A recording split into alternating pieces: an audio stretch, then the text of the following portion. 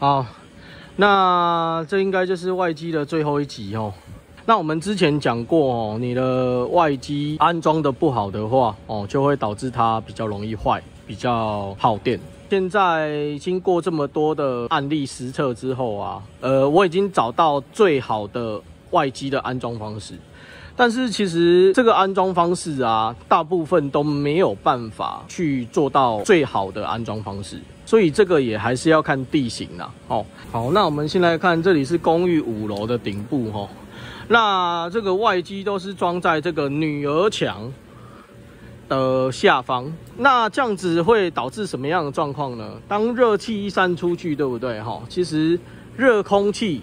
呃，会往上升哦，基所以基本上这个安装方式我们也不能说它错了哈，但是其实还可以更好哦。首先我们先来看一下这边有一个遮雨棚的架子，你装了遮雨棚之后啊，你的热空气往上升哈，就会被这个遮雨棚给挡住。所以我之前那一集外机安装的方法哦，其实还有几点要补充的哈。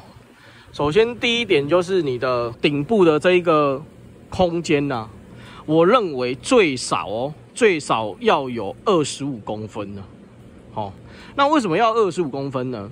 其实我一直都没有考虑到的一点就是，这个后面这个是冷凝器哦，这冷凝器有铝片、有铜、有铜嘛，所以它需要散热嘛。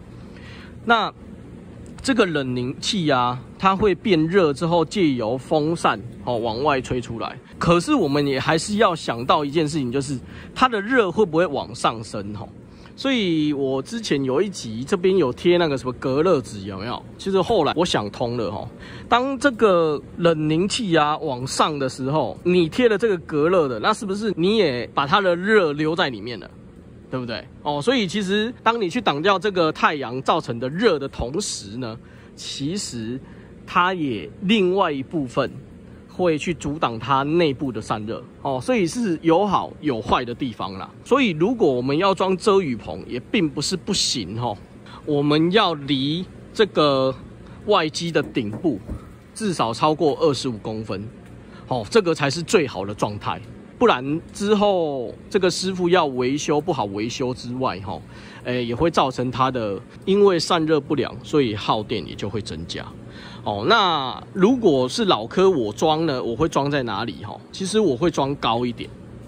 好，呃，我这一台外机啊，冷凝器的部分，哈，至少会有四分之三在上面。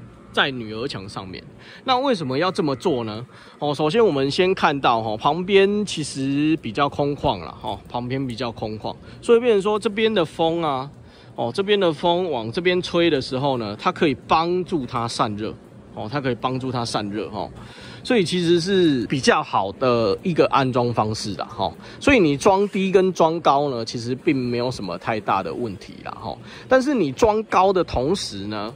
好，那又会有一个问题点了哈，就是你的这个冷凝器会去被太阳照射，哦，所以说实在话，你不管什么样的安装方式都有好有坏啦，好了解吧哈，所以这样子的安装方式其实已经非常 OK 了，非常可以哈，只是说它少了一个空气的流动性。如果今天它可以阻挡太阳的照射，它又可以。有增加这个空气的对流哦，让外面的这个空气的对流可以去帮它利用空气的流动，让它散热变得更好。那这个就是最好的安装方式了。那右边这边的空间一样，我们要有留这个工作的空间呐。哦，那很多的外机的前面啊，可能会有一些墙壁啊，还是一些遮蔽物哦，这个千万不要。不要这样安装哦，了解了哦。之后至于它的这一边的侧面有二十公分，其实就已经很棒了。那最主要还是后面这这一段距离哈，后面这一段距离啊，它离墙壁越远越好哦。首先哦，我们先强调离墙壁越远越好，因为我发现啊，它只要离墙壁越近，它的散热就越不好。你买的变频冷气。它就会变成非常的耗电，好了解意思了哦。所以这边呢，它一定要越远越好，好。最好是把这一台冷气有没有把它摆在这个空地的正中间啦，哦，这样子的安装方式绝对是最好的，哦，绝对是最好，但是基本上很难这样安装嘛，哦，所以其实有很多种方法啦，只是说我们要因地制宜，哦，去去选择一个最好的安装方式，这样子，哦，对于它的呃外机的散热越好。